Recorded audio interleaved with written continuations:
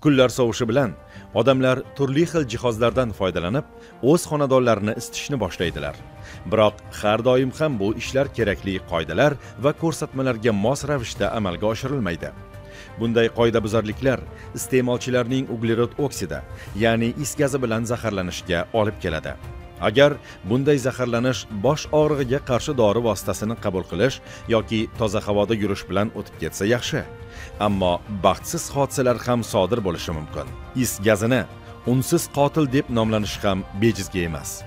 Bu gaz rangsiz ta'msiz va hidsiz hisoblanib uni his qilish deyarli mumkin emas.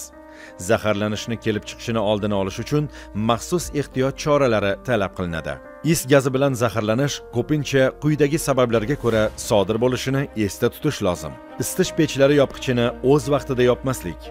Olov yonish qutisiga toza havoning yetarli miqdorda kirmasligi isitish qozonlaridagi havo tortish tizimining nosozligi oshxona havo tortgichini noto'g'ri tozalanishi va unga dud bo'ronning noto'g'ri ulanishi isitish jihozlari tizimidagi yoriqlar dud bo'ron va havo tortgich kanallarining berkilib qolishi xonani isitish uchun gaz plitasidan foydalanish qo'lbola va nostandart isitish moslamalaridan foydalanish hurmatli fuqarolar. Hudud gaz ta'minot aksiyadorlik jamiyati isitish moslamalaridan foydalanishda zarur ehtiyot choralarini ko'rishga va o'z vaqtida jihozlarni texnik ko'rikdan o'tkazishga chaqiradi. Nosozlik kuzatilganda darhol gaz ta'minoti tashkiloti mutaxassislarini chaqiring. Unutmang sog'lig'ingiz va hayotingiz o'z qo'lingizda.